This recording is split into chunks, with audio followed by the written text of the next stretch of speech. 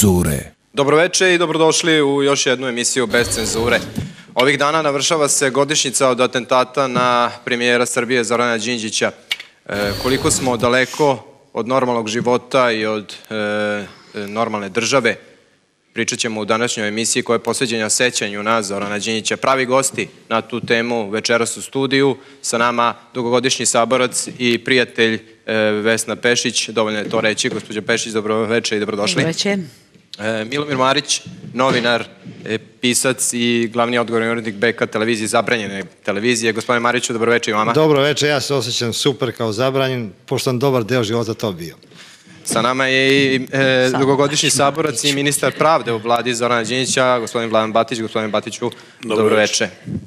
Takođe sa nama i profesor e, sociologije na Filozofskom fakultetu u Novom Sadu i politički analitičar Ljubiša Despotović. Gospodine Despotoviću, dobroveče i vama. Dobro večer.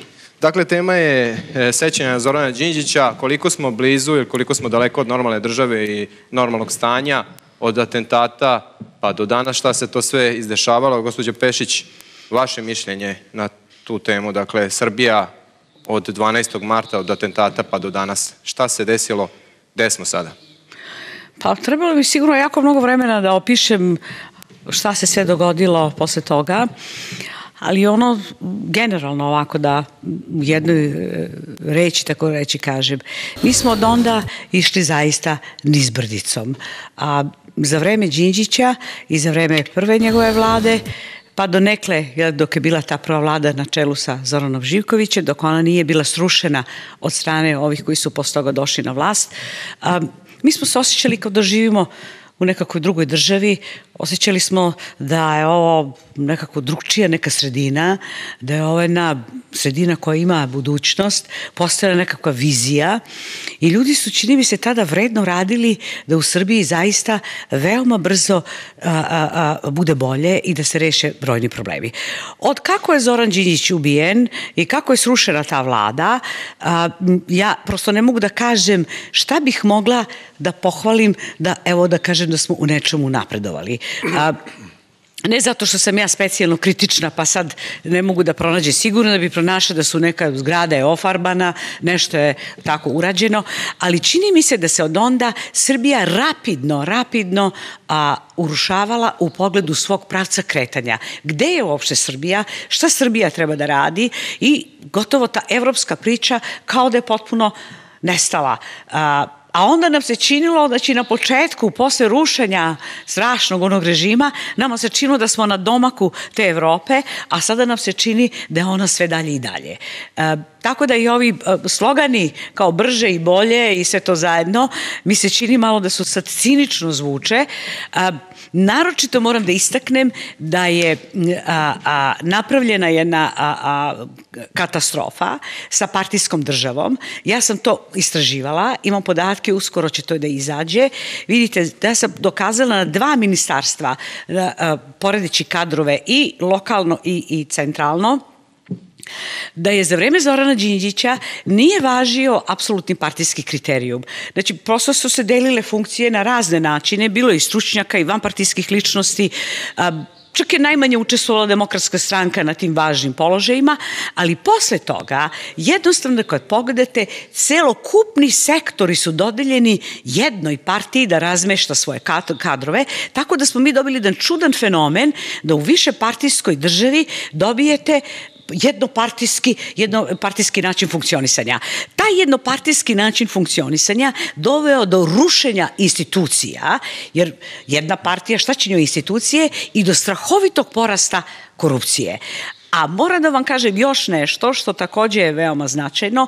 Urušila se i napredak Srbije ka demokratiji. Mi smo na 2003. godine imali još regularnu smenu vlasti, znači Koštulicina stranka koja je dobila 53, samo 53 mandata, ona je pravila vladu, dobila je 10 ministarstava, plus premijera, plus sve drugo što ide u 100, A danas mi više ne možemo da idemo po većinskom sistemu, znači većina koja je dobila, ne može da formira vladu. Znači ne priznaje se više većina na izborima, iz čega se zaključila da je demokratski taj osnovni, znači kad merite demokratiju, to je osnovno, znači da se priznaje princip većine, to se više ne priznaje. Nema više ono što se zove regularne smene vlasti. To je zaustavljeno, sad se sve funkcije su stavili jedan koš i dele sa nekog nepoznatog mesta, neka grupacija. Tako da moram da kažem da je zaustavljena i demokratija u Srbiji. A o teškoćama, o ekonomskim problemima, kako teče privatizacija, to da imamo gazde od Srbije, to da ne pominjem, to ćemo u, to u sledećem cugu. Da. Naravno. E, gospodine Batiću,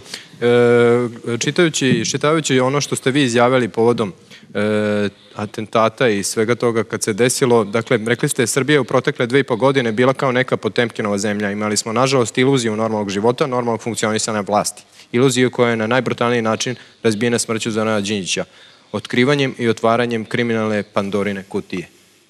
Gde se stalo na, na zatvaranju te kutije? Da li Pa uopšte... vidite da još uvek tapkamo u mestu i da ovde imamo jednu, jednu svojevrsnu koaliciju nekoliko partija na vlasti, Zemunskog klana, antihaškog lobija i nekolicina njihovih tajkuna, u stvari istinskih eh, gospodara Srbije. I hvala vama što ste nas pozvali, jer eh, sve manje i, i, i mogućnosti da se, da se preko medija čuje neka druga istina, neki drugačiji stav, tako da se Srbija onako brzim koracima vraća unazad i ona sve više postaje jedan, jedan e, medijski gulag, jedan koncentracioni logor javne reči i pričati sad o nekakvim reformama, o nekom boljitku, uzmite sva ona silna obećanja, pa ćete vidjeti da ništa od toga nije ispunjeno. E, ne znam, aktualna vlast obećavala je da će očuvati i afirmisati državnu zajednicu, ona se raspada, da se će sačuvati Kosovo, jasno je da Kosovo odlazi, da ćemo imati brz, brz pristup evropskim integracijama. Mi smo poslednji onako onim šargama ono, na zadnjem sedištu nekog rasklimatanog autobusa koji tumara nekakvim nedođajima i bestragijama. Evropa je mnogo daleko od nas.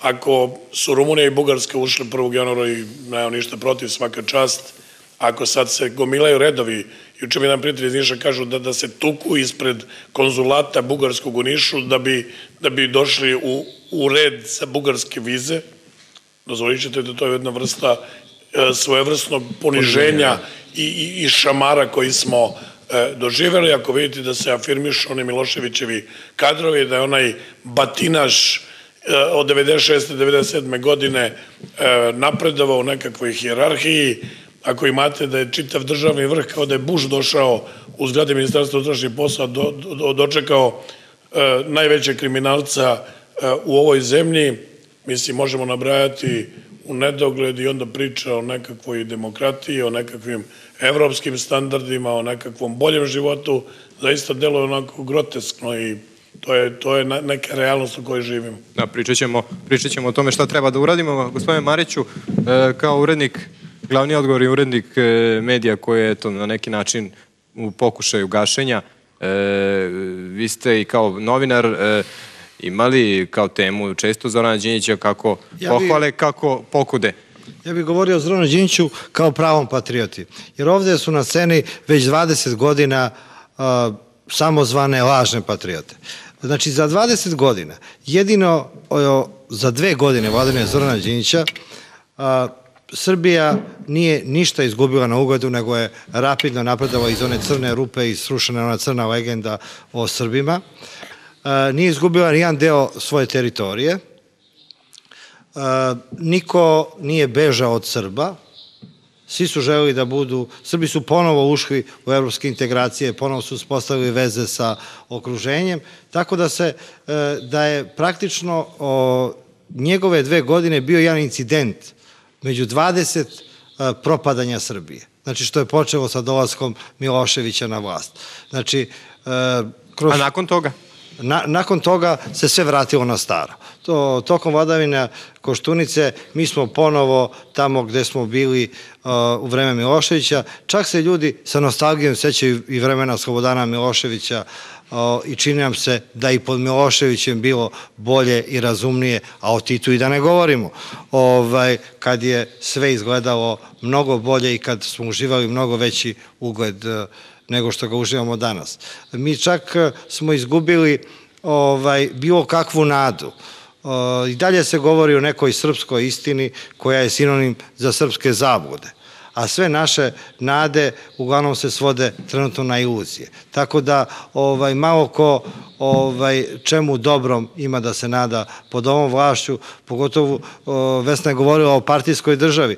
Mi smo nama se kosa dizala na glavi što je Ustav i 74. godine e, afirmisao partijsku državu. Dotle čak ni u tom Titovom režimu nije bilo ovaj takva partijska država. Svako ko je bio profesionalac za neki svoj e, posao mogao je i bez e, partijskog angažovanja da ostvari bilo kakvu karijeru profesionalno. Sad je to apsolutno nemoguće i ta partitokratija koja vlada Srbijom povezana sa vlasnicima Srbije, to su ti tajkuni, e, praktično bilo kakvu profesiju, bilo kakav rad je obesmislio. Da, ali e, Zoran Đinjić je za vreme svoje e, vlasti imao žestoke kritike od pojedinih medija, novinara, dakle čak mediji Evo recimo, koji su... Zoran koji Đinđić je, koji su ovaj, imali... njegovi politički protivnici koji su sada na vlasti, su o, opisivali Zorana Đinjića kao autokratu. A Ovaj, a on je za vreme svoje vladanje bio najoklevetaniji čovek u Srbiji. Vriskali su za, na taj biro za inf, informisanje kao da je to Gebelsovski centar istine, a ni u jednim novinama nije sprečeno da izađe bilo šta protiv Zorana Đinjića. Mi protiv Vojska Koštunice uglavnom možemo govoriti da li je bilo liste? Na, da li je bilo na 100 km od e, Beograda. Crne, crne liste novinara? Kad? Da li je bilo liste cr zabranjenih novinara, odnosno crne liste novinara? Kad? Kod Zorana Đinjića? Kod Vladimira Bebe Popovića. Pa mogo je Beba pravi kakve hoće liste, a nijednom novinaru nije sprečeno ništa da radi. Dobro, ali govorimo o onim tekstom identitetu i u, koji su, koji su prozivali Zorana Đinjića za naj za praktično da je šef mafije. U to vreme Zorana Đinjića izlazio je list Identitet, čiji je vlasnik bio Legija i Dušan Spasović i nije bio zabranjen. I čak je najavljen metak za Zoran u tom listu. Znači i mafija je mogla da ima listove. Ovde sad ni, ni novinari ne mogu se baviti svojim poslom, a kamo i mafija da ima listove. Dobro, mafija. Jedan detalj samo, izvinite Milomire, da, izvinjam se svima što oduzimam vreme. Pa evo, evo kako, funkcioniše, e, kako funkcionišu nezavisni mediji u Srbiji danas. Aktualizovala se priča o kiparskim parama. Godinama sam se nazad... Da, i vašom zaslugom, da. A ne, nema veze, nema ničije zasluge jer ništa nije ni urađeno. Ali bar pokušano. Aktualizovana je tema i e, juče smo zakazali jednu konferenciju za štampu e, na kojoj je gost bio čovek, naš biznismen iz, koji živi u Nikoziji i koji se zove Predrag Đorđević i koji je veoma upućen e, u, u, u ta događanja. Znači, sve ove godine, kad smo bili van parlamentarna stranka, na svakoj konferenciji štampu bile su bar 3-4 kamere. Sad su svi nešto pod pretnjama, pritiskom, parama, niko nije došao. Jer jednostavno onim tajkunima koji vladaju ovom zemljom, na čelu sa Miškovićem, ne odgovara da se ta priča čuje. I mene je jedna urednica jedne televizije onako sa, sa plačnim glasom rekla o čemu se zapravo radi. E to je, to je se događa u Evropi u, u 2007. godini u Srbiji danas. I onda mislim da to puno, puno stvari objašnjava. Evo kako izgledaju mediji u Srbiji, evo na, na tom primjeru ćemo dokazati. Bila je prva emisija Insajdera u kojoj se pojavljuje uh, u jednom kadru uh, Miroslav Mišković u pratnji Milke Forsne gledaju neke patike, a preko toga ide tekst da je Kertes kad je bio šef carine dozvolio da kamioni e, deo te svih firmi slobodno prolaze i da se carina plati kad je inflacija obezvredi. A to nije bilo po zakonu ni tom, ni tom dobro. E, očekivao se nastavak te priče, međutim, uoči drugog nastavka Insajdera išla je velike, išlo, išlo je dva minuta reklame za Niveu koji zastupa ovaj, Delta i nije se više pominjao u drugom nastavku Miroslav Mišković. To je oko simbolično bilo. Evo kako izgledaju medije u Srbiji. Da. E, profesore Despotoviću, kao politički analitičar, da li možete da nam date ocenu e, vlade Zorana Đinjića i tog perioda, dakle, kao što je rekao gospodin Marić, incidenta u periodu od 20 godina propadanja? Pa ja ću pokušati da se sačuvam politikanskih ovaj, ocena i da dam jedan mali analitički ovaj, okvir za moju ocenu političke vladavine Zorana Đinđića. Da bih to uradio, moram da kažem sledeće. Srbija je čito drugu polovinu 20. veka e, bila i ostala, nažalost, dana današnjeg poluperiferno društvo, poluperiferna država sa ozbiljnim tendencijama da postane, postane periferija. Drugo, Srbija je ovaj, u Miloševićevom vlašću doživela u stvari krešćendo razgradnje i moderne nacionalne države i građanskog društva sa onim tragovima civilnosti koji su se do tada, što u 19. veku, što u prvoj 20. veka uspeli izgraditi. E, u Srbiji su, nažalost, sa tom vladavinom gotovo bili zatomljeni i svi procesi pseudomodernizacije koje je srpsko državo, država i društvo otpočela u okviru bivše Socijalističke federativne republike Jugoslavije. Dakle, to je zatečeno stanje, vrhunac e, i špic te krize bio je 5. oktobar i na, tada nam se činilo razvojne e, starog režima, došla je demokratska vlast oličena u pokretu demokratskom koji se zvao DEPOS. Koliko se ja, DOS, da. Koliko se ja sećam, obećanja su bila da će se u prvoj godini vlasti ići na ekspertsku vladu, da će se o, pripremiti svi najvažniji setovi zakona koji menjaju politički ambijent uz pripremu novog ustava i da će na, faktički na toj novoj konstrukciji novog režima u Srbiji faktički krenuti put istinske demokratizacije ove, ove države i ovog društva. Međutim, na moju veliku žalost i na veliku žalost većine građana Srbije to se nije desilo. Umesto da se krene tim putem istinske demokratizacije, izgradnje novog poredka i da se stari poredak de, de facto, znači, uh, uguši, zato mi i razruže i do, do poslednje cigle, do poslednje institucije, desilo se da je proces krenuo potpuno drugačije.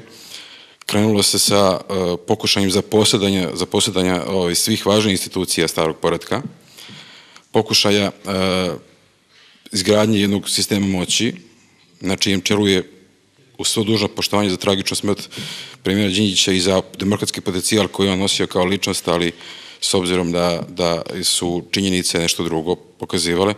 Dakle, krenuo je taj proces u kome je faktički stari režim ne samo da nije razgrađen, nego je, nego je preuzet u svim svojim segmentima, institucijama, počeo da se gradi jedan paralelni sistem moći, koji je kasnije faktički bio ovaj, u svim svojim segmentima vezano i za zakonodavnu izvršnu vlast, sudsku vlast, ovaj, pa onda i medije faktički izađe na novi poredak, poredak moći sa svojom klijentelističkom, ovaj, novom klijentelističkom grupacijom u kojoj se nalaze i tajkuni i, i, i strukture mafije koje su naslađili Miloševićeg perioda. I ovaj, desilo se to što se desilo, tragična sudbina premijera, tako da, ovaj, nažalost, Zoran je imao šansu da e, Bošta posle Svetog Sava, čini mi se po prvi put u istoriji, bude prvi i veliki i najveći reformator srpske države i društva, ali taj potencijal e, nažalost nije, nije, nije realizovan, po mojoj oceni nije ovaj, ostvaren. E, desilo se nešto potpuno drugo i na, na tom talasu se, su se dešavale kasnije ove procese, procesi koji se dešavaju dan danas. Znači, Evropska perspektiva Srbije je bitno uvanjena, usporen je pravac e, evropskih integracija i desilo se upravo ovo što, e, što se danas dešava. Hoćete da kažete da Srbija nema reformatora? I da hoću da kažem da i ovo što je koleginica Pešić pomenula kao, kao partijsku državu, partijska država je bila pre Zorana Đinjića, bila za vreme Zorana Đinjića da i nastavljena, i nastavljena sada. Ja vam, evo prvoga, ja moram da vam kažem, vi ćete pročitati moj rad, pošto ste vi ovde predstavljeni kao profesor, ja sam doktor nauka, doktor sociologije, a završila sam filozofiju, prema tome imam veliki broj radova i ja sam napravila jedno istraživanje, ja sam se na njega i pozvala.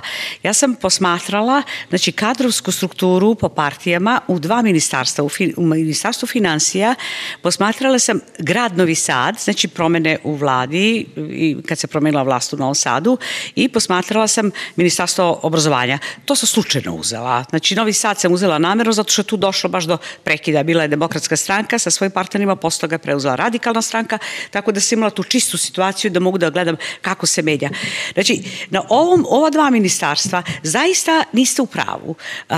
Partijska država nije bila napravljena dok je Zoran Đinđić bio na vlasti. Ona je apsolutno napravljena kad je Koštunica preuzeo vlast, a ja vas molim, moj tekst će izaći, mogu da vam pošaljem to i da vidite tabele. Znači, to nisu nikakve, nisam govorila na pamet kad sam to rekla, jer vi ste se ogradili da ćete vi nećete pričati politikanski, a pošto su ovde nekakvi politikanti.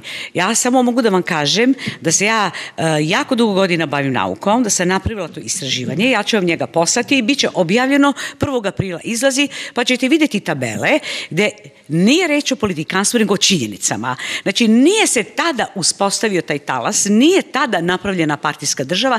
Zoran Đinjić je i ubijen zato što ga niko nije kontrolisao. Znate, ovde da opstane političar koji modernizuje društvo, koji je reformator, koji je predao Miloševića Haško tribunalu, Pa gospodine, molim vas, pa to je, to je bila smrtna presuda za takvog reformatora.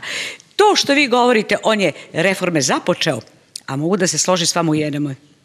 Vidite, stvarno, vi ste taj period Miloševića dobro opisali, kratko, a evo, i slažemo se, ali da li je mogao neko za dve godine, pazite, za dve godine, da celu tu crnu rupu Se sećate da nije elektrike, nismo imali, ja ne znam o čemu se tad nije moralo sve razmišljati, od povratka u svetu, pa da se moglo napraviti i sudstvo, a onda još da vas sve što opomenem, zakoni koji su bili pripremljeni nisu mogli da budu doneseni zato što je Demokratska stranka Srbije neprekidno sabotirala parlament i nije čela ni u čemu da kooperira. Znači, ta vlada i ono što je pripremila, što je pokušala da reformiše, imala je neprekidno kontru od ove stranke koja je na kraju nju smenila do, do. Prema tome, moramo ipak da govorimo na osnovu činjenica, jer vi ste uvatili jedan talas od Zorana Đinjića, pa biste hteli da ga terate do danas. Mislim da su jako velike razlike, u ostalom, da vam kažem, poredite samo decembar 2003. godine, kada ja sam to navela, kao, e, znači, e, e, kada sam rekla da su zaustavljene demokratske promene, niko, ali zaista nikom, nije palo na pamet, ni nama analitičarima, kritičarima, kako god hoćete da kažete, da nas nazovete, nikom nije palo na pamet da osporavamo da se napravi vlada sa 53 mandata, i da se dobiju sva ta ministarstva. Sada je stranka dobila 64, a druga, radikalna stranka, takođe još veći broj.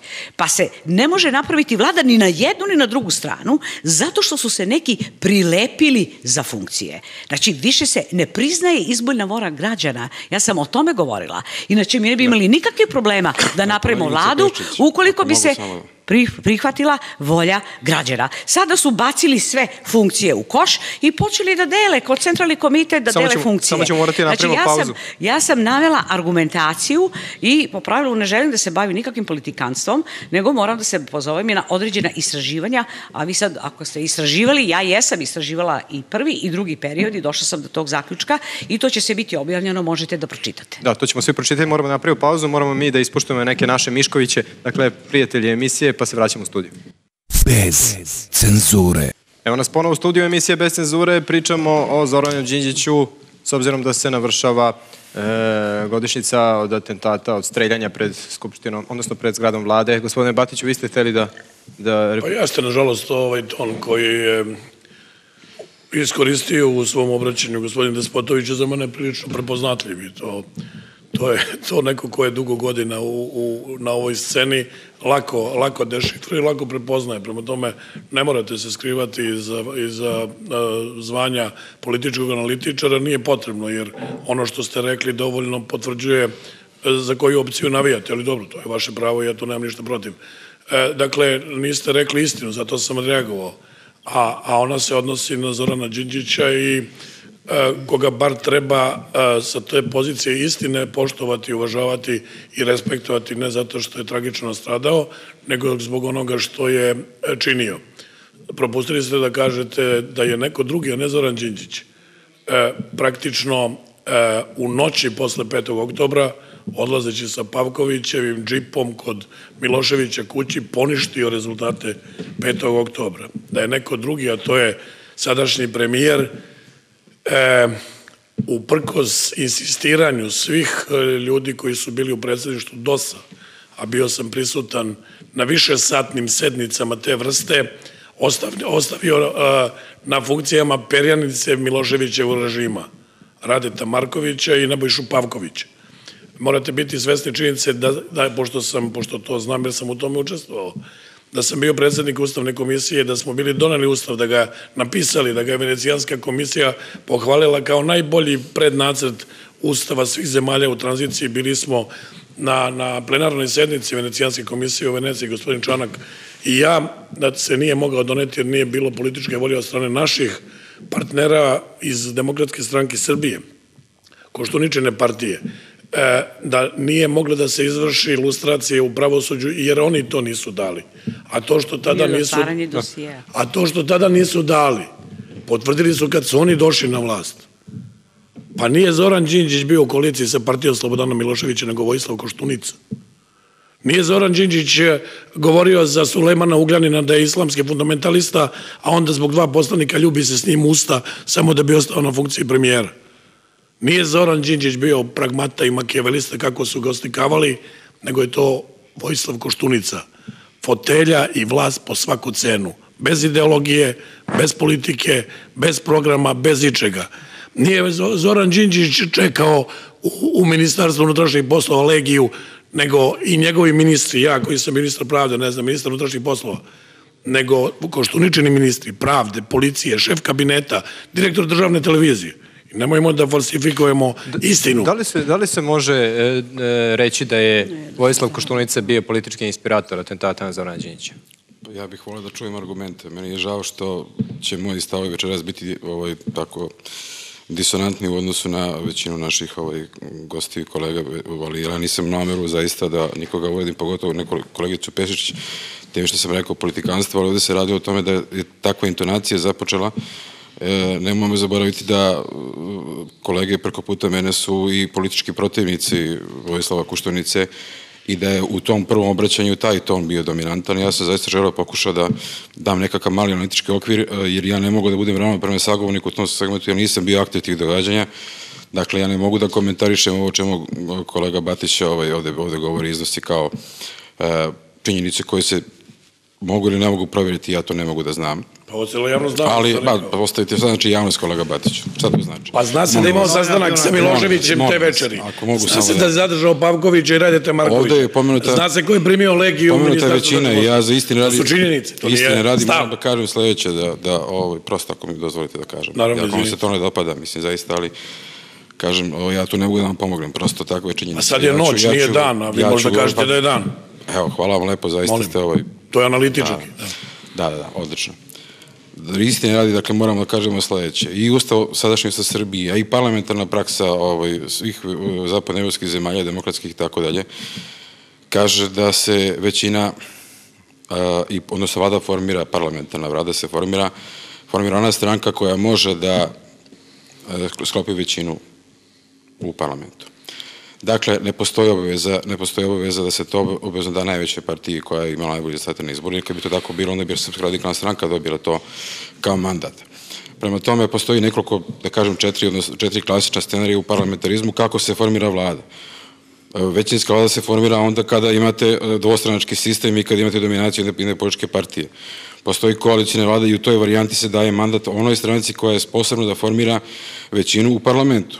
Postoji vari- varijanta manjinske vlade, o to je treći scenario koji je već bio u Srbiji, po vašoj oceni, manje, manje uspešan i neuspešan, o tome se da, da diskutovati. Postoji varijanta koncentracione vlade takođe koji je ovaj, bio pokušaj u jednom periodu ovaj, posle 5. oktobra, to nije, nije prosto išlo.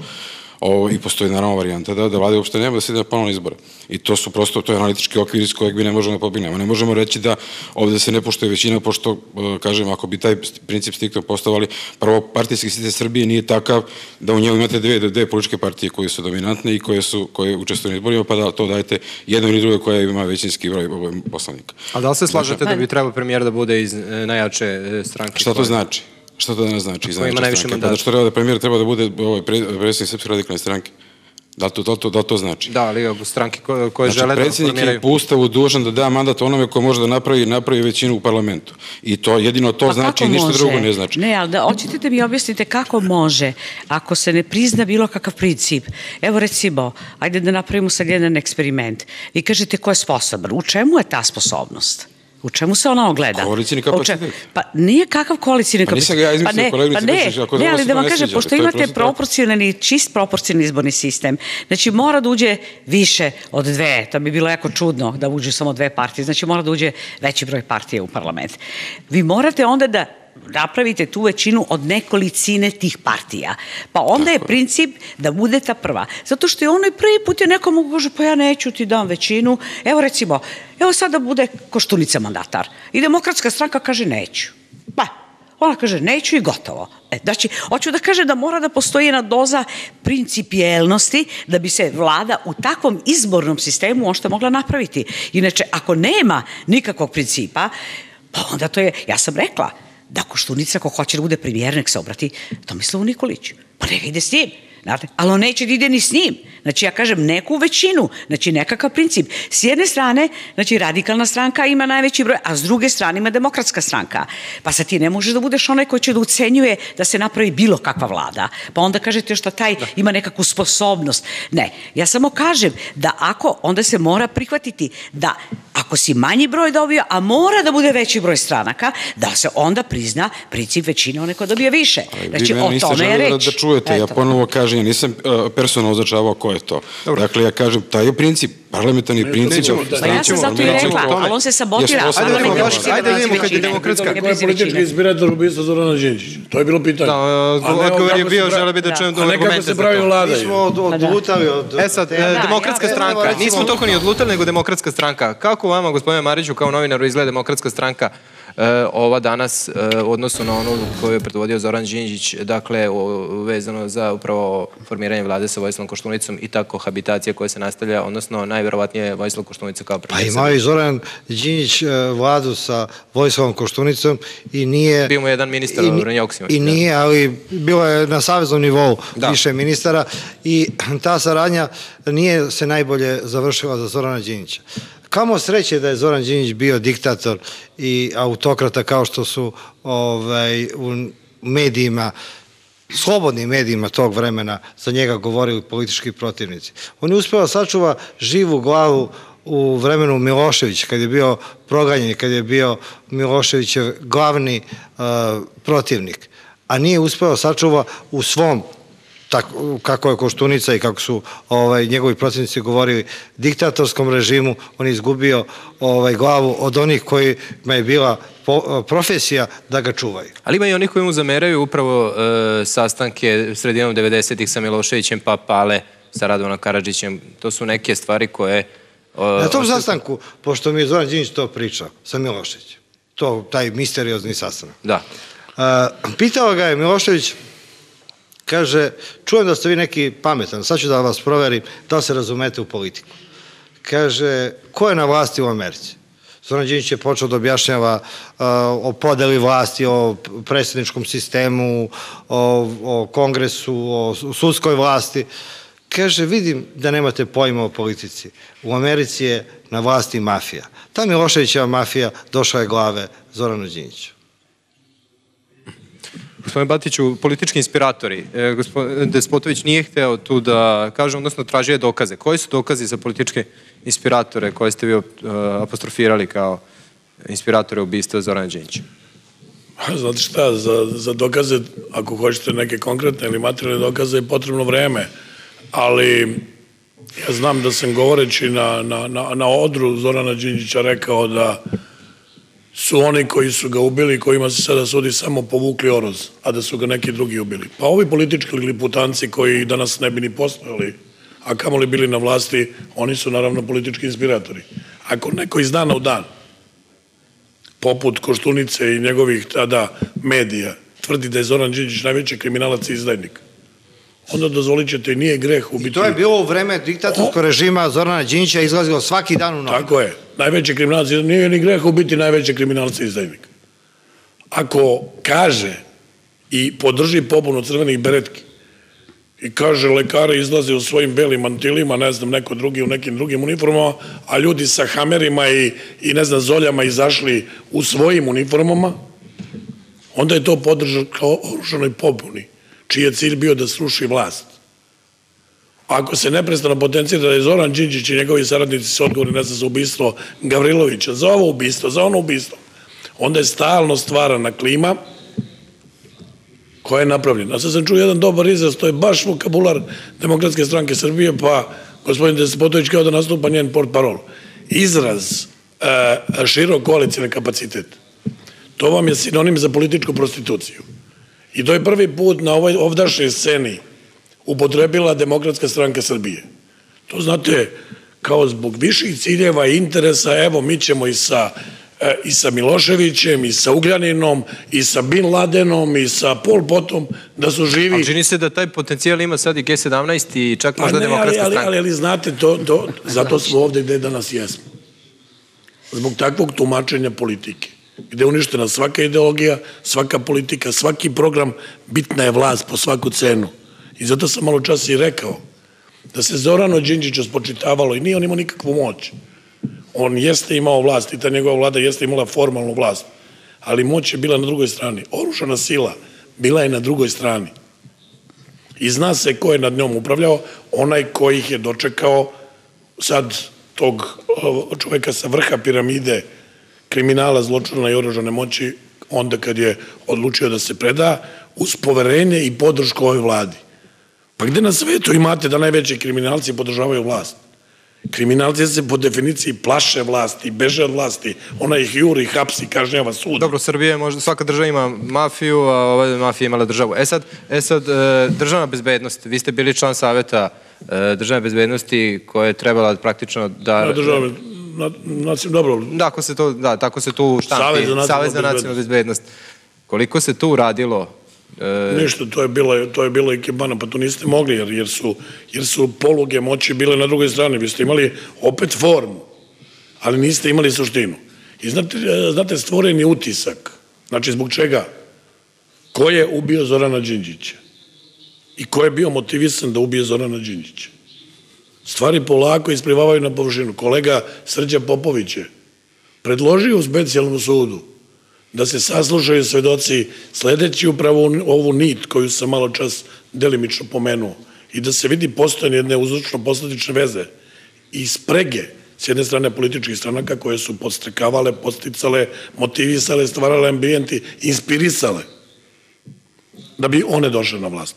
Imate kriminalne klanove kad su trebali da budu uhapšeni Legija, ne znam, te likovi iz Zemunskog klana nekoliko dana pre, jer su imali svoje ljude i u policiji i u, i u službama bezbednosti i ne znam, u pravosuđu saznali su, to je drugi, drugi, druga ravan. Oni su mislili ako ubiju Đinđića, on nikad neće odgovarati krivično. Antihaški lobi. Isto tako, ako ubiju Đinđića, niko više neće ići u Hag. Konačno tajkuni koji su harali i danas haraju Srbijom. Napisao sam jednu kolumnu, nadam se da će izaći u glasu nedelju. I sad kad čovek vraća događaj nazad, 7. oktobra, kad je bila inauguracija Koštunice u Sava centru, vi vidite u VIP salonu, da čovjek ne poveruje, otko ti ljudi tu? Miloševićeve tajkune. Loših Žužice, Điđe, Diđave sa učešće par Miloševićeve tajkuna, kao da su najbliži prijatelji. Oni unutra piju viski i nazdravljaju, oni novom gazdi ili novi gazda njima kao pravim gazdama, a okolo obezbeđenja su bili ti ljudi iz Zemunskog klana. Baš likom, kum, šiptar, e, ne znam, čume i tako dalje. Da. I to objašnjava celu situaciju. Gospodine Despotović, ovo su teške optužbe na račun premijera Srbije. E, nije vaš uloga naravno da ga branite, ali sam siguran da se nećete složiti sa ovim konstatacijama. Pa, znate kako, ja bih morao da izgubim potpuno pamćenje kad bih ovaj, mogu da prihvatim ovu vrstu ovaj, e, priče koju je gospodin Batić sad ovde servirao. Treba da pitam gospodina Batića koji je to vreme bio ministar policije u Uđenjićevoj vladi, koji je bio ministar savezne policije. Da li je bila najavna u medijima najava atentata na, na, na Zorana Đinđića? Šta je radila vlada? Šta je radilo ministarstvo, ministarstvo unutrašnjih poslova? Ko je odlazio u Šileru? Ko je kontaktirao sa, sa, sa tim istim ljudima koje ste vi ovde pomenuli? Dakle, vi ste se malo pre pozvali na javnost, ja vas sad pitam ko je kontaktirao sa tim ljudima. Ajde, ovo je ono što, što možemo vidimo znači, iz tekstova koji su bili u javnosti. Ko je kontaktirao sa tim ljudima? Znate kako je, sa mafijom imate vrlo, vrlo, vrlo ovaj, e, čudne odnose. E, Đinjić je rekao da jedino ovaj, u Srbiji mafija ima svoju državu. Kad je vlada konačno zauzela sve važne, važne ove institucije te države, tu su postavili samo dve mogućnosti. Jedna je da krene otvoreni obračun sa, sa kriminalom, a to se nažalost nije desilo. Desilo se nešto drugo. Da su počeli se prave dilovi sa, sa gospodom iz podzemlja. A znate kad se dilovi sa, sa gospodom iz, iz podzemlja, kad se oni ovaj, počnu kršiti, kad se pravile igre počnu kršiti, onda stižu kazne. To je surova priča, ali je, ali je, ali je takva, činjenična. A da li to znači Prema da tome, vlast u Srbiji ja moram da podsjetim samo, da podsjetim samo na taj nivo, na, na taj nivo činjenica, ponovo kažem, ja nisam bio akter tih događaja, nisam ničiji advokat, ja samo pokušavam da kao čovjek koji se bavi o, analitikom i koji se bavi o, nau- naukom, pokušavam da, da, da, da ovde postavim neka relevantna sociološka pitanja. Da, vi drugo. samo pokušavate da poslovno optužite Zorana Đinđića za sva zla koja su nam se dogodili. Znate, ako bude Andreja Mladenović gleda ovu emisiju, mislim da će se osetiti ugroženim. Ovako mogli biste da budete kompetentni pod parol Demokratske stranke Srbije od njega. Ozbiljno vam govorim, ne, ne šalim se uopšte. Onako, on, Pa dobro, ja sam- on dečko nije mogao ni BK univerzitet da završi, pokušavao iz više navrata, nije uspeo, pa boga mi sad... Valjda sad, postoji razlika u obrazovanju između mene i gospodina Milica. Sad ste mu konkurencija, naravno. Ne, znate šta, ja moram samo da kažem da u redu, ako hoćete da imate takvu poziciju, o, da se vi u politiku eto ne razumete, vi se bavite naukom i analitikom, dakle vam podatak da je Zoran Đinđić pravio dilove sa podzemljem? Iz Možete to javnosti koji se pozvao gospodin Pa Bačić. čekajte, A ko pa čekajte, da molim vas, čekajte, rekao da se ne pa u dobro, politiku? pa malo pre ste pa dobro, ja, vi ste politički analitičar sa naučnim nekim oreolom, za razliku od ovih drugih. Dobro, ja samo kažem, odakle vam ta ideja da on pravio sa nekim kriminalcima dilove? Znate, to su pisali, gospodin Milomir Marić je malo pre rekao, ja se sećam tog nacionala, internacionala, tu su bile stvarno te novine koje su zaista bile i neki u rukama mafije, neki u rukama DB-a, pa i dan danas su te neke novine, zaista tabloidi, ono što zovemo u rukama državne bezbednosti, pa oni proturaju razne vesti ili ono što se njima sviđa. Znate, znači, e, Takve novine, kad govorite o tome, mi smo njih apostrofirali već. Ako se vi kao profesor pozivate na internacional i na nacional kao javnost, znate, mi smo mislili javnost ono što bi trebalo da bude otprilike, pa to je ona kvalifikovana nekakva javnost, a ne ova mafijaška javnost koja je izdavala te listove. Znate, e sad vi se na tu pozivate da je Đinđić imao dilove sa podzemljem, na osnovu čega? Na osnovu nacionala i da, koja je to javnost? Znate, znači, vi morate sad da kvalifikujete to. Znači, na osnovu čega su to rekli? Ja mislim da je to bila stvarno jedna neviđena propaganda, moj utisak, naravno, da bila strašna propaganda koja se vodila sve vreme protiv Zorana Đinđića. Moram da kažem, nažalost, da to nije išlo samo od tabloida, nego išlo čak i od veoma uglednih nekih ljudi i ličnosti, zato što se prosto sve moglo i zameralo Zoranu Đinđiću. Ako bi rekao, hoću da reformišem sud, to su skočili svi, eno ga, nezavisni sud, kao da Srbija ima 300 godina nezavisni sud i sad neko kao, ama što god je čovek probao, tako su svi skakali. Ja neću da navodim i sa druge strane, prosto čovek kad su ovako, što god je hteo, to su svi skakali. Znači, što je rečeno malo pre, to je takva bila jedna sloboda da se može bilo šta reći i sa jedne i sa druge strane, i sa ovih potplaćenim listovima, i sa ovim koji nisu bili potplaćeni listovi. Jednostavno, Zoran Đinđić je kao premijer odgovarao na svako pitanje svakog dana.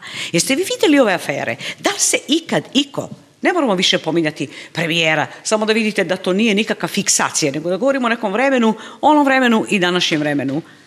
Više se ne možete nigde postaviti to pitanje. Niko od njih ne objašnjava bilo šta. Vi ste videli malo pre da postoji sumnja da je jedan, taj gospodin iz jednog ministarstva oko te drumske mafije. Pa on je ispsovao. On je za godina, gospodina Šabića rekao da je on korumpirani idiot taj, ko na ko, pa jeste vi to čuli kakvo to ponašanje kao prvo i prvo. Znači ja govorim o, jednom, o jednoj promeni koja nije samo vidljiva, šta ja znam, da li imamo veće plate, da li smo više ofarbali, da li smo više okrećili ili bilo šta. Nego to je jedna mentalitetska razlika. Prvo taj prostakluk koji sada vlada ovde. Videli ste čovjeka juče kako odgovara, pod sumnjam da je, a kad je na jednu aferu bilo ko iz vlade od ministara, molim vas se, obratio javnosti? Niko. Zoran Đinđić, ja mislim da ipak nije bilo toliko daleko i tako davno, apsolutno za svako trice, on je svako trice A što objašnjavao. samo jedan- što ćemo sa- što ćemo sa Dušanom Mihajlovićem afera, ni jednu jedinu reč nikad nije dala. Čovićem?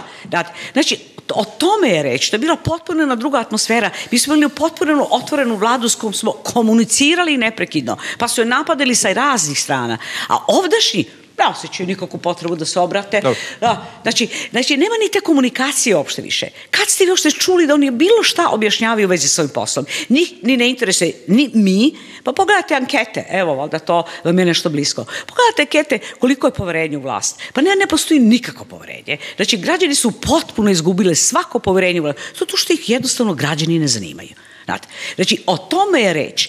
A Zoran Đinđić je radio od ujutru do uveče. Bio je otvoren, bio je reformator, imao je viziju. I to je prvo njegova inteligencija i sposobnost. Ne može da se poredi. Pa ovo su stvarno i, i, i po sposobnostima mediokriteti. Jer on je imao zaista izvarede prosto lično, sad govorim, možda nije morao nikad biti u politici, mogao je nastaviti, on je predavao i bio profesor u Novom Sadu, filozofije, i da je ostao nije filozof, jeste, i da je, i da je ostao filozof, da vam kažem, on bi bio naš najveći filozof danas. Prosto govorim od, o, o njegovim sposobnostima koje su O bile velikom formatu čoveka, jasno, bio, prva, bio van, van, van serijski čovek u svakom pogledu. Znači, ja o tome govorim. I kad vi sad kažete da on pravio nekakve dilove, zaista moram da kažem da se malo osjećam i povređenom, zato što smatram da smo imali, eto, neko kaže incidentom, a ja smatram da možda i nije samo incident, Možda da šansa. Srbija ima i takve ljude koji će da vode Srbiju, a da ne mora da bude uvek samo incident. Ali izgleda da je zaista to što smo imali Zorana Đinđića sa tolikom sposobnošću i tolikom vizijom kakva Srbija treba da bude,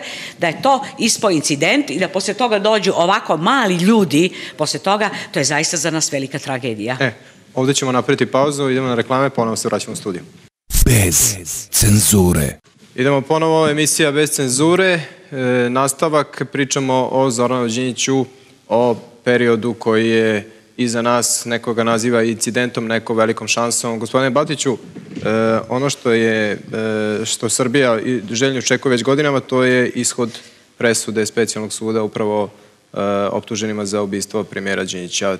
Sad se tu pojavilo raznih teorija zavera, raznih trećih metkova i isto tako nekih natpisa koje bune javnost. Čemu se radi? Evo da, da samo pomenem jedan detalj pre odgovora na ovo pitanje. E, kako, je, kako je postupao Zoran Đinđić? E, nadovezujem se na što je Vesna Pešić malo čas rekla, apropo ove priče o drumskoj mafiji odgovornosti nekih ljudi u, vrhu vlasti za razne te spektakularne postupke protiv raznih vrsta mafije, ali naravno neki od njih su upravo rodonačelnici tih, tih mafijaških poduhvata, ali nije to tema. Kad se dogodila afera oko, oko Vuka Obradović, koji je bio potpredsjednik vlade, Zoran Đinđić je insistirao da podnese ostavku. On je hteo smenjenje. To je bio Zoran Đinđić. Kad se dogodila afera sa Perišićem, koji nije nigde optužen i osuđen, optužen jeste, jer odustalo se od dalje gonjenja, bio sam lično prisutan, Zoran kaže, ja ne mogu tebi da sudim, to će sud utvrđuje, možda nema, možda je to sve špekulacija, možda nisi kriv, ali moraš da podneseš ostavku. Čovjek uzeo papir i podneo ostavku. To je priča o Perišiću i o Zoranu Đinđiću.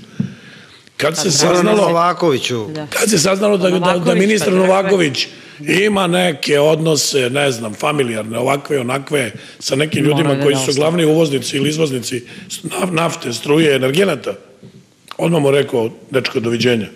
Takav je bio Zoran Đinđić. Da govorim po dubini, po raznim ministarstvima. To je jedna strana medalje. Drugo, ovo što je Vesna reka partijska. Pa vi imate partijska ministarstva da je čistačica iz partije.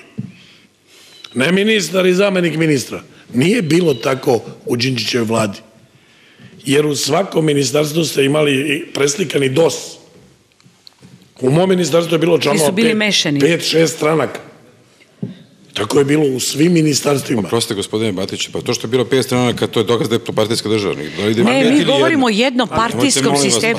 to je- Ne, ne, niste Nisu razumeli argument. da budu Govorimo- partijski angažovani. Ali ste vi To imali... je dokaz protiv partijske, te za partijskoj državi. To je, Ne, ne, ne, ne, ne, niste razumeli Niste argument. razumeli Ne, ne. opet. Da. Morali bi kao Da. politički analitičar malo više da, da kapirate. Nije, to... Znači, pripadnost stranci ja, ja govorim, u epohi Zorana Đinđića nije bila bitna. kad za kapitalne investicije, tu su svi članovi Nove Srbije. Razumete, svi su iz jednog. Kao da je... Mi- To je feudalna podela plena. Je. Mi možemo da težimo, mi, ali to nemate ni, ni u najcivili, najrazvijenijim evropskim demokratijama. Znači, svuda su vam, svuda su vam partijska ministarstva u Engleskoj, u Velikoj Britaniji, svuda, u svim zemljama. Znači, nemoj da idealizujete tu priču. Ministar iz partije. Prema tome, svi su ministri iz partije i tamo. pa normalno o čemu pričamo. Pa to, Da. i to ja vama pričam. Ovde ste imali da zamenici ministra koje je birala vlada, znači isto politička ličnosti, pomoćnici ministra, bili su iz više stranaka. Je to kao ste- neka međusobna kontrola? Apsolutno. I međusobni korektiv. Ali da se vratim odgovor na ovo pitanje koje ste mi postavili. Specijalni sud. Specijalni sud i suđenje za ubistvo Zorana Đinđića. I evo vam tu još dokaza o, o pokušajima vlasti da na svaki način obstruira taj postupak. Si ja se dokaz. Dejan Mihajlov, generalni sekretar vlade, proziva javno, čitajući nečije pamflete, e, Tadića i Živkovića da kažu ko je ubio Đinđića, ako oni ne kažu, on će reći. Onda kad, kad ga pozovu na specijalni sud, ajde kaži, onda onako kao mala maca podvije rep i kaže, pa to je bilo u žaru političke borbe. I nije to problem, mogu ljudi da naprave greške, ali da ste vi premijer jedne ozbiljne vlade, kažete, alo, dečko, to je onako veljeni izraz, dečko, dođi spakuj tvoje stvari, tvoja misija je ovde završena. Pa ne, Dejan Mihajlov i dalje alfa i omega. To je jedna stvar. Pa imate do, do jučerašnjeg e, šefa javne bezbednosti, koji javno kaže optužnice na, ta, na staklenim nogama i tako dalje i tako dalje. Pa imate Nin koji je postao onako službeni glasnik e, Zemunskog klana. Da, da je mesecima vođena kampanja, treći metak, druga ulica, treći atentator, fotorobot, e, ledeni metak, sve u se kaže, sve neko drugi ubio Đinđića, samo ne ovi kojima se sudi. Optužnica čvrsta kao granit, sve potpuno jasno. Nema nikakvih više dilema u pogledu egzekucije. Dilema je ova druga, da se razotkrije ko su nalogodavci. Već sa dobrom sigurnošću možemo reći ko su inspiratori. Oni koji su imali političku korist. Ali za nalogodavce ćemo još videti ko su. A Vreme će dokazati, pravda je spora ali dostižna. I to je ovo što je pokušao da u, u, u predlogu za dopunu dokaza iznese kolega Srđa Popović. I to, to je nešto što je razjašnjeno.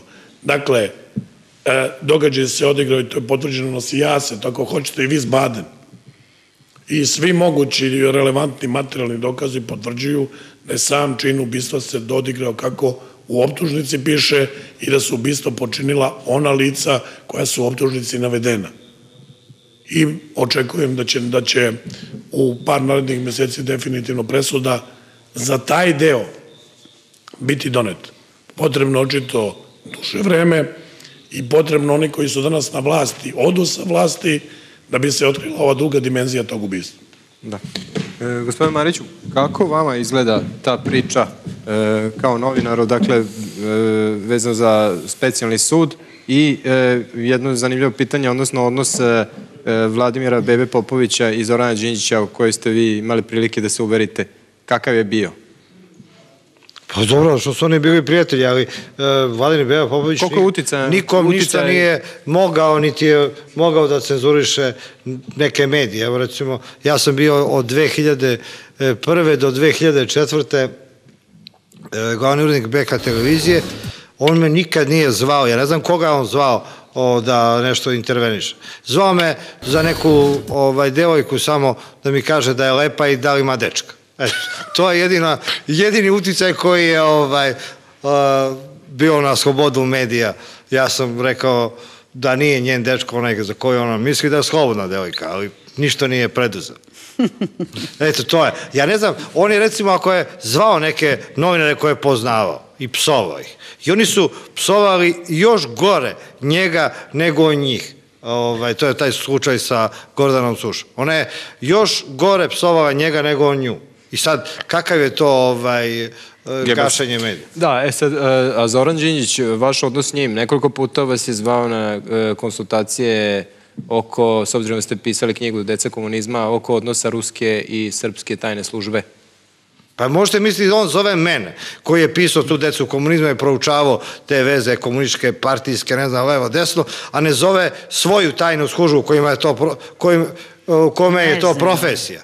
I koji su to trebali da utvrde oni, a ne da se ja bavim time, da utvrđujem da li je postojala veza ovaj, između ruske e, vojske mimo centralnog komiteta i mimo Tita, neprestano od 45. koju sam ja slučajno otkrio proučavajući ovo za decu komunizma i kako su golotočani sa golog otoka odlazili pravo u general štab kod Gošnjaka i ovaj, dobijali posao i stanove. To sam ja slučajno otkrio i to se nastavilo kroz Ljubičića i dalje. Slučajno sam otkrio negde u Rusiji razgovarajući s nekim nesretnicima da ja to Zoranu Đinću ja pišem, a ne njegova tajna služba koja bi Ne trebala znaju oni to. time da se bavi. Ili recimo, od Zoran Đinđić 27. januara 2003. godine došao je kod mene na televiziju. Evo da ispričamo nešto o, o tom vremenu. Zaista, jer ovo, ovo Zoran, nije ovo politika. Trebalo bi pričamo stvarno o u kakvom je vremenu taj nesretni Đinjić vodio vladu. Dolazi 27. januara kod mene, kaže, e, ajde razgovaram u nekoj kancelariji e, koja nije tvoja koja se ne prisuška. Razgovarali smo u nekoj levoj kancelariji na BK televiziji. I donosi mi, nikad nije nosio tašnu Zoran Đinđić. Taj je došao s tašnom. I bacio je ispred mene hrpu dokumenta koji su svi nosili ovaj, državna tajna i bija. Procena bezbednosti premijera Srbije Zorana Đinđića. U to vreme su ponovno već pisalo se sprema atentat na njega, sukobi, ovo, legija, ne znam, već je bio dosta u medijima tada. I tu je pisao. Znači, bija koja treba da odgovara za bezbednost Zorana Đinća i treba ovaj, da je on šef toga.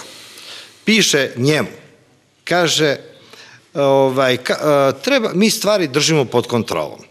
Trenutno je sukob između ovaj, tog čumeta koji je u nekom bekstvu i ovaj, Spasojevića i Leki.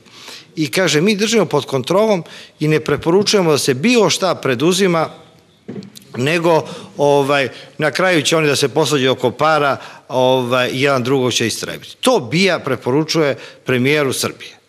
Ja kažem, Zorane, ti ćeš izgubiti glavu ovaj, ako budete čekali. Pa kaže, ne razumemo se ni ti ni ja u bezbednost, to je njihov, njihov posao. A znači, ta bija koja, čije bi on trebao ovaj, da bude šef, je radila njemu u glavi. Plać, ti ljudi iz bije ovaj, javljaju da je Zoran Đinjić izašao iz kuće i gde se Zoran Đinđić nalazi. E, a, a ti pripadnici Crvene beretke su nominalno o službenici državne bezbednosti koji su ga i ubili. Dobro, ali to je... O kakvoj njegovoj vlasti govorimo? Njega optužuju da je Machiavelli, on onako šarmantan kakav je bio, kaže, Machiavelli je bio dobar momak na lošem glasu. Dobro, gospodin Despotović je to rekao, dakle, Dušan Mihajlović, ministar policije, je nekoliko puta na sednicama DOS-a. Nekoliko puta na sednicama DOS-a Dušan Mihajlović, ministar policije, je upozoravao Zorana Đinjića da se na njega sprema atentat. Zoran, to je citat Nenada Čanka, gde mu je Zoran Đinjić rekao, Dušane, opet preteruješ. E, je li tako bilo na sednici? No. Zoran Đinđić se nije Dušan bojao, posle atentata ovaj, kod Kale Limes je on dao izjavu šarmantna kakav je bio, kaže to je neki probao, ovaj, neki loš vozač ovaj, vozio po autoputu. Jer se on, on je pokazivao da se, da se, na što bi ličilo da se premijer boji nekih tamo ovaj, odmetnute mafije i odmetnute uh, specijalaca i tih zločinaca iz crvenih beretka. Dobro, dobro sad. Ne, Zoran Čanak je upoz...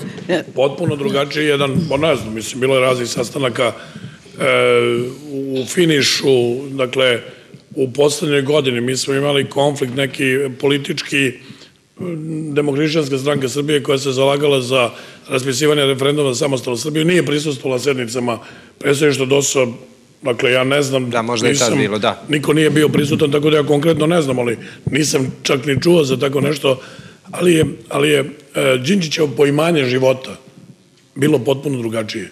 On je bio optimista, on je bio čovek pozitivne energije, on je, ako hoćete, bio idealista. E, lično sam bio prisutan jer je Dodik mene molio na dan atentata, o, pokušaj atentata kod Hale Limes, Đinđić je išao u Banja Luku sa, sa, sa onim štulama, štakama, i, i stigao je u Banja Luku, Nije se znalo šta je to, još je rano bilo, nije se znala prava pozadina pokuša atentata kod Hale Limes. Mene zove Dodik i kaže daj molim te, ne mogu da priđem Zoranu, nešto se gadno sprema, zovi nekog da, da mi omogući da razgovaram sa njim. Svi su telefoni bili svih ministara, van dometa, ja rekao svojim sekretaricama u ministarstvu, neprestano zovu uzalud. Dodik mi se javlja, nije mogao da se vidi, ok, doći će u Beograd. Ja kažem Zoranu, Mile, hoće da se vidimo, nešto, neka, nešto se sprema, ima neke, neka saznanja. Dolazi Dodik, odlazimo kod Zorana kući, pričamo Dodik, daje mu spisak imena, da, da, da imaju neki kamp u Republici Srpskoj, da nije znao Dodik tačno o čemu se radi, da li neka diverzija, sabotaža, atentat, ali da nešto, te, te, ne, te neki veterani iz Republike Srpske, Zemunski klan, antihaški lobi, spremaju neko zlo. Dobro, posle se ispostavilo da je i njegov život bio u opasnosti. Ja, ja ovaj, ali, ali Zoran Đinđić takav bio. Dodik priča, sav se onako uneo, ja vidim da ga Đinđić ne sluša, onako, na jedno uvo ga čuje, na drugo pusti. Ula, idemo, idemo, završavamo taj sastanak, Mile razgovara sa, sa, sa Ružicom, ja Zoran kažem, e bre čoveče, čovek te upozorava, ti, ti ne, ne reaguješ. Kao, pa kao šta da radim, onako prosto se nasmeo, evo daću ovo Dušanu Mihajloviću to, to, tu ceduljicu sa nekim imenima i tako dalje. A da li je Takav bilo- je, takav je bio Zoran Da, Đinđić. a da li je bilo u članova vlade koji su na neki način radili o glavi Zoran Đinđiću? Setimo se na, Ne, ja na svedočenju. rekla. Na, sveče, na svedočenju Nebojša Čović je bio pominjan kao čovek koji je... Koji je Znate bio- šta, ne mogu da se bavim spekulacijom. I ne mogu čak ni da prihvatim da je neko u vladi tako nešto mislio. Ne mogu kroz ovo iskustvo nagomilano ni da demantujem nešto tako. Ali ja kao čovek koji, koji je uvek a, solidaran i lojalan onome u čemu učestvuje, jednostavno ne želim tako da razmišljam. Da. Gospodine Spotoviću, koliko je e, ova konstatacija koju smo čuli u emisiji da je politički profitirao Vojislav Koštunica smrću Zorana Đinjića, tačno? Niste čuli u ovoj emisiji, to je evidentno. Dobro, to je dobro. Evo, čuli smo i u ovoj emisiji. Da vam kažem jednu stvar. Ja bih se osvrnuo da se pre svega na ovo što je sad kolega Batić rekao. E, ja nemam namjeru da zaista vređam ničije sećanja, niti ove emocije i da mogu da prihvatim čak i da je o, gospodin Zoran Đinđić bio o, i lično hrabar čovek i našalantan i šarmantan kao što se ovde, ovde svedoči i tako dalje, ali to je jedan nivo priče koji je priča sećanja, vezan za sećanje i tako dalje. Ja sam želeo i pokušavam da govorim o karakteru političke vlasti.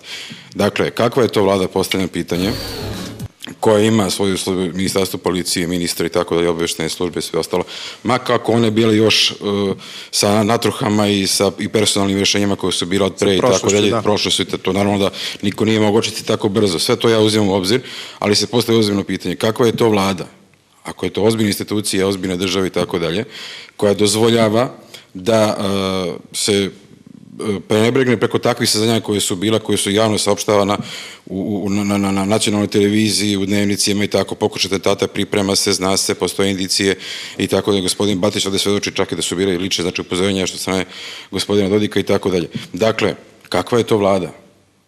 Ako se ovde, ovde, ovde zaista postavlja pitanje i kaže da je to bilo sve sako tako lepo i demokratski i sjajno i tako dalje, kakva je to dakle vlada koja dozvoljava da se, da se, da se u sva te saznanja koje su bio da se, da se izvrši, izvrši atentat na, na, na, na premijera. Hoće da kažete da da je be- bezbedonosni deo vlade hoću da nije, kažem, nije hoću da položio kažem, hoću da kažem da nešto u toj priči prosto ovaj prosto ne stoji. A šta to gospoda koje su preko puta mene najbolje mogu da znaju? Ja nisam zaista bio učesnik i nisam, niti sada sam ovaj, prvo vlade, niti bilo koga drugog. Ja govorim zaista, ovaj, e, pokušavam da, da, da, da objasnim neke činjenice i sebi i, ovaj, i gledalcima i tako da je ne plediram da govorim, da govorim istinu, pošto, pošto ovaj, nemam sve moguće podatke, ali e, moja osnovna, osnovna današnja ideja i nastup u ovoj emisiji bio je da pokažem da e, ta vrsta mistifikacije koja se sada stvara ovaj, zbog tragične smrti premijera e, ide do te mere da se nekritički dakle, daju ocene o tome da je to bila e, izuzetno ovaj, dinamična, izuzetno ovaj, demokratska vlada i, i vlast i tako dalje, činjenice, prosto analize pokazuju da to nije bilo tako. A ove kalkulacije, ko je izvukao, izvukao korist, ko nije izvukao korist i tako dalje, na taj nivo zaista ne, ne, ne želim da se spuštam, jer to je nivo, nivo kažem ponovno politikanstva u kome ja niti sam učestvovao, niti želim da učestvujem. Prosto- Mariću, Evo, Mariću, da li, politikanstvo- da li bi Zoran Đinđić E, bio evo, živ da evo, je Politikanstvo je počeo da- odmah posle smrti Zorana Đinjića. A, znači, e, u medije su plasirane priče da je, su Zorana Đinjića ubili kriminalci. I da on se družio s kriminalcima, pa su ga kriminalci i ubili. A, znači, e, odmah posle njegove smrti, bez obzira na vanredno stanje, na sablju, na, e, ipak je ta priča pro, protorena.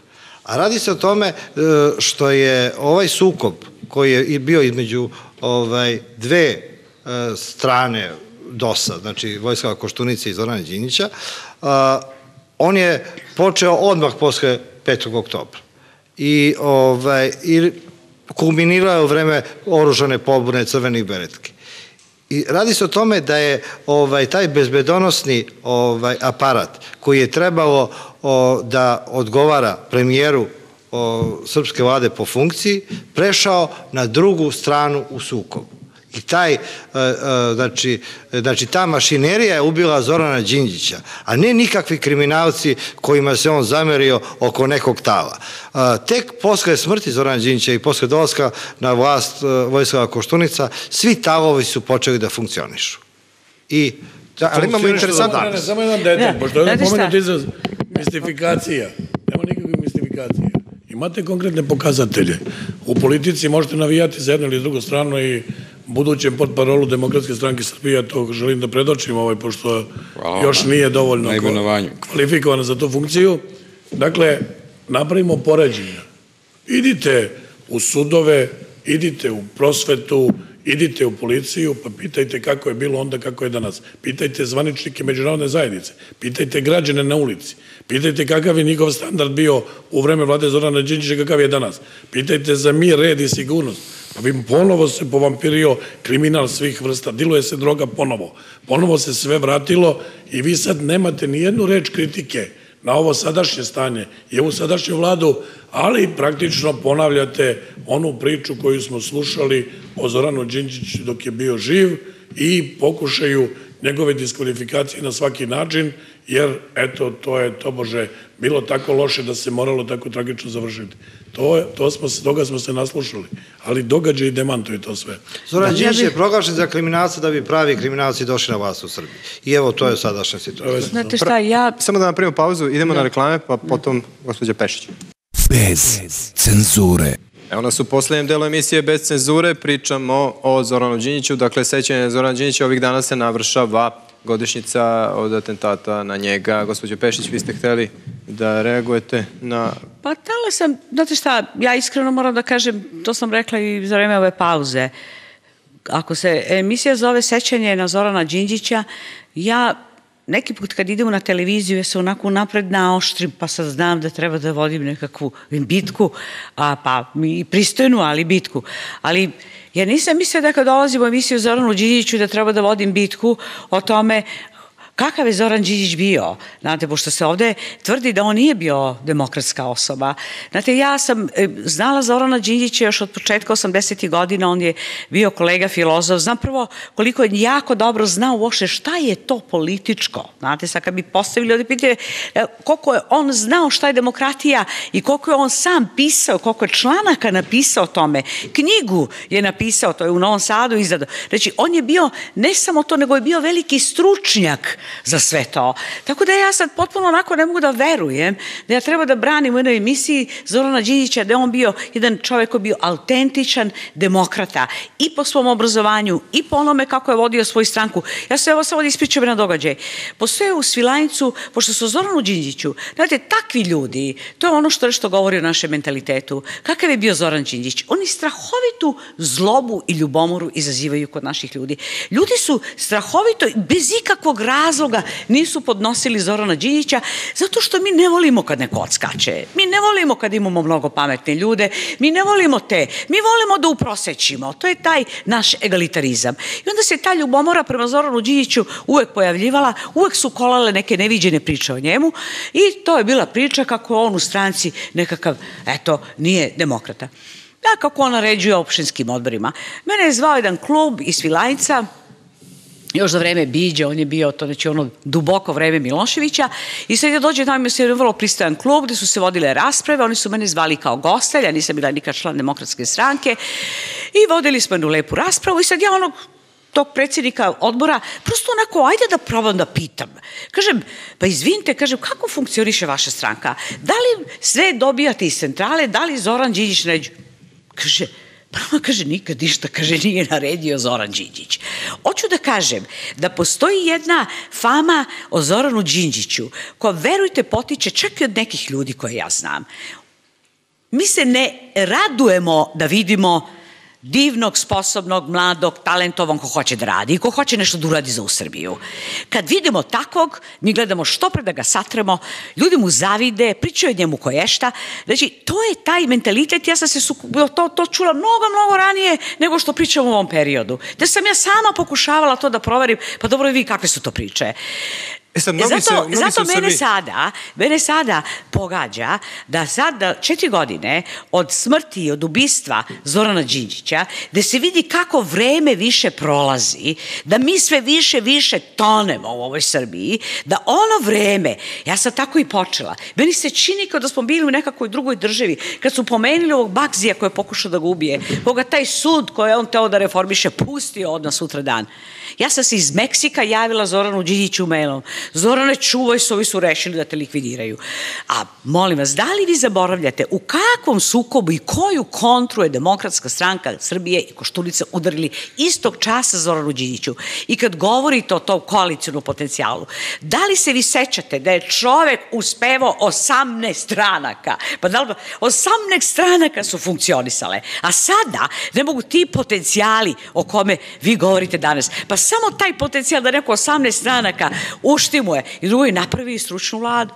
Znate, ovi stručnjaci Boža Đelić, puni nisu postali pre toga, dok nije Zoran Đinđić bravio vladu. On je imao dve vlade. Znači, jedan deo vlade je bio po političko okrit, to su bili potpredsjednici vlade, a jedan deo je bio profesionalan, znači stručna vlada. E, upravo tu. E, znači, hoću da tu, kažem, i to što ste očigledno rekli da će doći stručnjaci, i došli su stručnjaci, zaista su u vladi sedeli stručnjaci koji su stigli iz inostranstva, pa iz vaše te, od koje branite tu stranku, koji su rekli, neće nam ti iz beloga sveta da budu ministri. A to se odnosilo na, na Božidara Đelića. Nisam hoću da kažem da sam znala, da sam znala da ću da se raspravljam o tome kakva je uloga Zorana Đinđića i šta je on radio za te dve i po godine i kakva je to vlada bila, naročito sad, još kad možemo posle ovog iskustva da vidimo, ja moram da vam kažem ovako da poručim i gledocima. Vrlo često se za Đinđića govori, on je bio prvi demokratski premijer. Ako zanemarimo Zorana Živkovića koji je bio nekoliko meseci, on je bio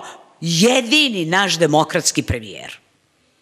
Evo, li samo jedna kratko da odgovorim, pa nemojte, Evo, samo samo ja sam ovde sam, ovo je očigledno, ovo, i moram da... Samo da kratko, malo pošto imamo vremena, još malo ali vremena samo do kraja emisije. Ja nisam komentarisao, ja nisam, tako je, je, tako je, i time se ponosim.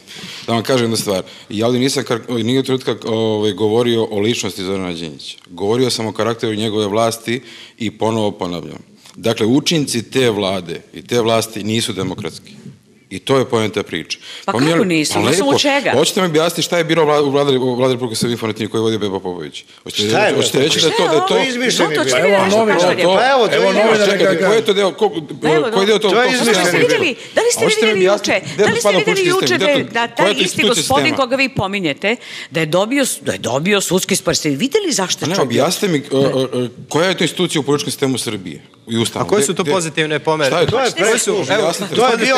Ima Pa to je služba, Obična pa svako ima. Pa sad je Srđan Đurić u ovoj vladi, svako ima tu službu. To je O čemu vi pričate? to nikako čemu vi pričate? Pa da niste vi imali potpuno- neko nezgodno iskustvo. A koje su Pa, pozitivne, tome? koje su pozitivne e, stvari koje e, vlada Aleksandra u Tijenića koji ima vladu veliku masu. To je izmišljotina bio. Kakva preslužba, obično čujemo- svaka vlada ima. da čujemo Svaka vlada ima preslužbu. Da samo da čujem pitanje, pošto je bilo galama. Dakle, pa pitanje je koje su pozitivne stvari u odnosu na vladu Zorana Đinđića koje je povukao Vojislav Koštunica, odnosno ta vlada? Ova Pa ja se nisam pripremao za taj deo emisije, ovdje reče bilo o karakteru vlasti Zorana Đinđića, tako mi je bar najavljeno. Dobro, ali- tome, ali- ja govorim, ja govorim, lepota, ja ovaj govorim o, to, o tom periodu. živimo Ako me sad pitate, tu, pitate u ovom trenutku da vam kažem, ovaj, stabilizovani politički sistem. Ocene, ocene institucije Evropsko, ocene institucije Evropsko, ovaj, Evropske i Svetske banke govore, govore, drago mi je da čujem ovaj sveh, e, govore o tome da je Srbija ispunila ovaj, puno uslova koji su važni za približavanje Evropskoj uniji. Zato su i razgovori jedini uslov, jedini uslov zbog čega su pregovori pre, pregovori prekinuti bilo je bilo je bio, je- bio je haški problem isporučenja mladića. Ali ako se sećate, pre skoro je saopštena komisija koja je to radila i tako dalje, da je upravo u vreme te vlade, ovaj, kada bi vlade Zorana Đinđića, um, mladić šetao Beogradom. Mladić bio u, u Pa vojnim objektima i tako vojske. dalje. Pa zašto ne je kontrola? Iz Koštunice. Ne možemo mi sad Pa da, da. prenebegnemo čini da bi Pa Zašto nije bio uhapšen? Zašto ne nije može bio kad ga je ispovučen vojska štitila, ti Molim vas, upravlja pa nemojte. Koštunica. Gospodin Pa ne Batić, može, to su činjenice. To što Pa on to- pa to su je što vam ja priča. su činjenice. Prema tome, samo jedan razlog postoji zbog čega mi ne idemo malo brže tim tempom, to je, to je, to je, to je, to je Hag. Ali pazite, to je Evropa prekinula. Ako je Evropi cilj da, se, da mi idemo brže evropske integracije, zbog čega je postao taj ustav samo Srbije? Šteta po Evropu. Zbog čega? Znači ovako, a Koštunica na veruje, to pitanje, pa molim vas. Koštunica veruje u sove, a gospodin Des- Despotović veruje u veštice. Dakle, ovo što vi pričate o stabilizaciji političkih institucija, pa čoveče, jel vi znate u kojoj zemlji živite, koja nema ustavni sud, koja nema državnog tužioca, koja ima vladu koja je samu sebe proglasila za tehničku, koja nema Beogradskog okružnog tužioca, koja ima polukonstituisan i nedovršen parlament, o kakvim institucijama i njihovoj stabilizaciji vi pričate. Pa kako će, kako će da izruče, kako će da izruče mladiće kad je Koštunica na čelu antihaškog lobija? Pa to i ptice na grani znaju. Prema tome, ponosim se što sam bio ministar u vladi Zorana Đinđića, vizionara, čoveka ogromne energije, vlade i zemlje koja je bila hit u vreme dok je Zoran Đinđić bio na njenom čelu. Rekao sam tad, a vreme to pokazuje, pravit će tu vladu od blata. Tu vladu će praviti od blata u odnosu na ove, na ovu čiji premijer ne ume sam da pređe ulicu. Kad ustane ne zna da li da se umije ili da se ubije. Onako noga mu nozi dobro ne misli. Da. E sad, za sam kraj, ostalo je toliko još da svako po minut prokomentariše, dakle, one čuvene reči, citat Zorana Đinjića, ako neko misli da će zaustaviti reforme, odnosno ako neko misli da će uklene mene zaustaviti reforme u Srbiji, krvno se vara.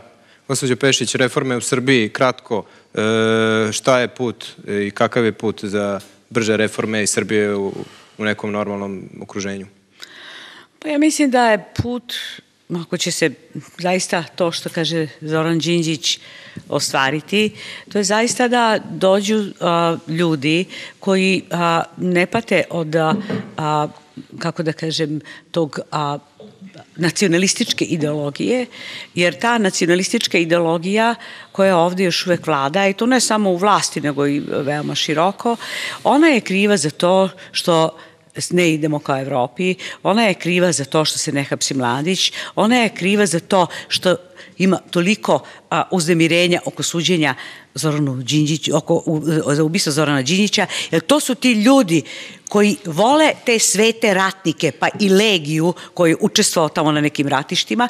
Znači, hoću da kažem da ukoliko dođu ti, ako se promeni ta politika, ako mi promenimo naš sistem vrednosti, ako takva politika dođe, ja onda verujem da te reforme, jedan drugi način života u Srbiji, jedan drugi način gledanja na stvari, da će onda on doći u Srbiju. Ali ako nastave ove snage koje danas vidimo da glode glavnu reč, ja mislim da onda neće tako brzo ići, možda u nekoj dalekoj budućnosti, ali skoro nekog boljitka neće biti. Gospodine Mariću?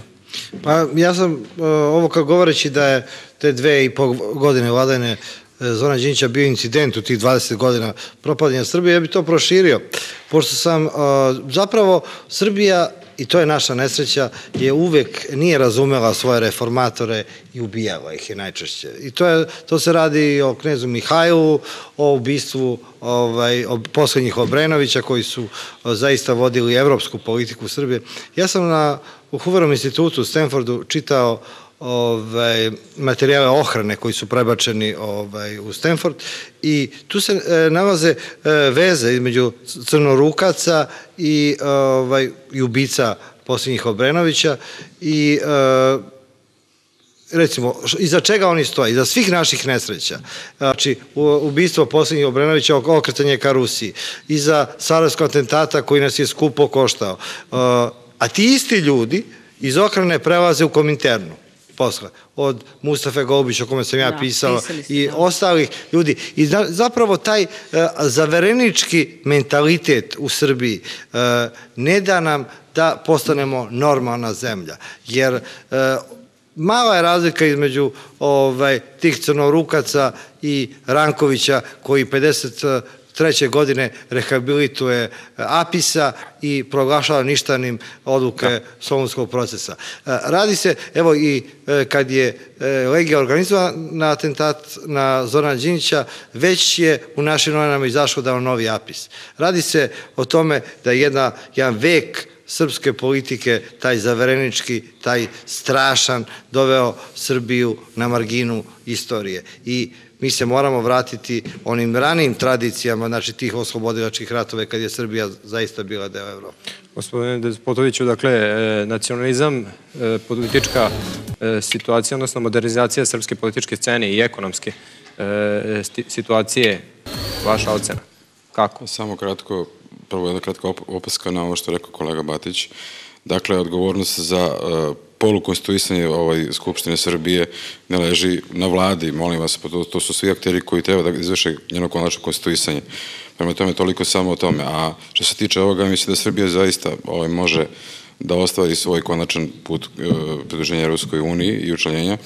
Treba samo formirati ovaj, tu vladu koja, koja se iščekuje do kraja marta meseca.